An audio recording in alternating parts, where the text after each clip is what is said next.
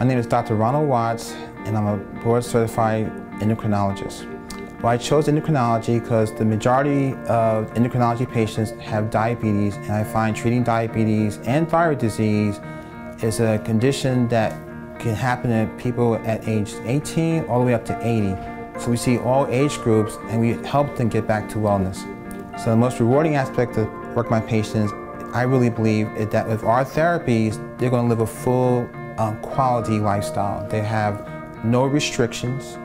They will have very little limitations on whatever they want to do. It's just getting them back to healthy lifestyle and completely um, able to do what they like to do.